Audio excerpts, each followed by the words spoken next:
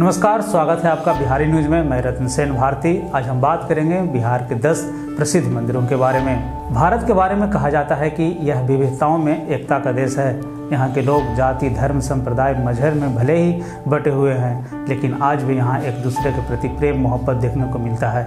इसी का तो नतीजा है कि देश में कई हिस्सों में जहाँ मंदिर है, वहाँ मस्जिद भी है। एक तरफ़ जहाँ गुरुवाणी होती है तो वहीं दूसरी तरफ़ अजान भी पढ़ा जाता है। ऐसे में यह देश सुंदरता और एकता में चार चाँद लगाता है। देश की इन्हीं विविधताओं में एकता के बीच आज हम बात करेंगे बिहार के उन दस मंदिरों के बारे में, जहाँ भक्तों की सबसे ज़्यादा भीड़ लगती है।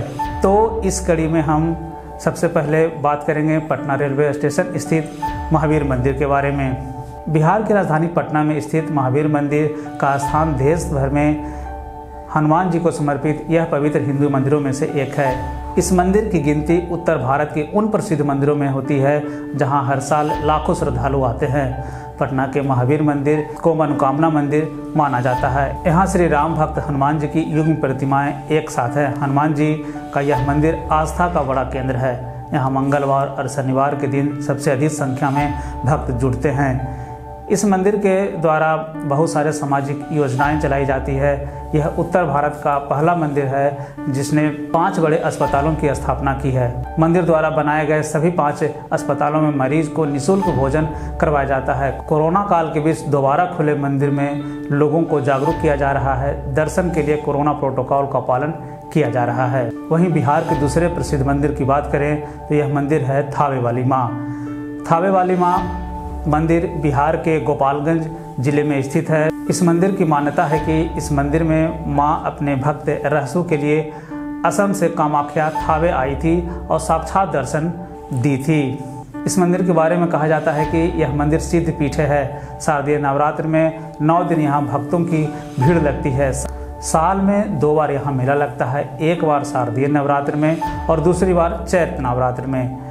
इन दोनों ही मेलों में भक्तों का जनसा लाभ उमड़ता है। माता के मंदिर के बारे में बताया जाता है कि इस मंदिर में सोमवार और शुक्रवार को यहाँ विशेष पूजा होती है। अब इस मंदिर में लोग थावे वाली माता का मंदिर, सिंहासनी भवानी और रहसु भवानी के नाम से भी जानते हैं। अब बात करते हैं माँ पटन देवी मंदिर की। यह मंदिर बिहार की राजधानी पटना में स्थित पटन देवी मंदिर शक्ति उपासना का प्रमुख केंद्र माना जाता है। पौराणिक मान्यताओं के अनुसार सती की दाहिनी जांग यहाँ गिरी थी। नवरात्र के समय यहाँ काफ़ी भीड़ उमड़ती है। माँ पटन देवी को पटना की नगर रक्षिका भवानी पटन देवी के रूप में जाना जाता है। वैसे तो यहाँ माँ के भक्तों को प्रतिदिन भीड़ लगती है, लेकिन नवरात्र में माँ पटन देवी के दर्शन के लिए लंबी लंबी कतारें लगती है। अब बात करते हैं मुंडेश्वरी देवी मंदिर की। बिहार के कैमूर ज़िले में माँ मुंडेश्वरी का एक अनोखा और प्राचीन मंदिर स्थित है। यह मंदिर बिहार के कैमूर श्रेणी की पावरा पहाड़ी पर 608 फीट की ऊंचाई पर स्थित है। माँ के मंदिर के साथ ही यहाँ पे एक प्राचीन शिवलिंग की भी बहुत ही महिमा है। यहाँ पे भक्त इस शिवलिंग के दर्शन, माता को, के दर्शन के लिए यहाँ पे आते हैं। इस मंदिर के बारे में यह भी कहा जाता है कि यहाँ चंड मुंड के वध से जुड़ी कुछ कथाएँ भी मिलती है। इस मंदिर में हिंदू ही नहीं, बल्कि अन्य धर्म के लोग भी बलि देने आते हैं और आँखों के सामने चमत्कार होते देखते हैं। भक्तों का कहना है कि माँ मुंडेश्वरी के सच्चे मन से मांगी हर मुराद पूरी होती है।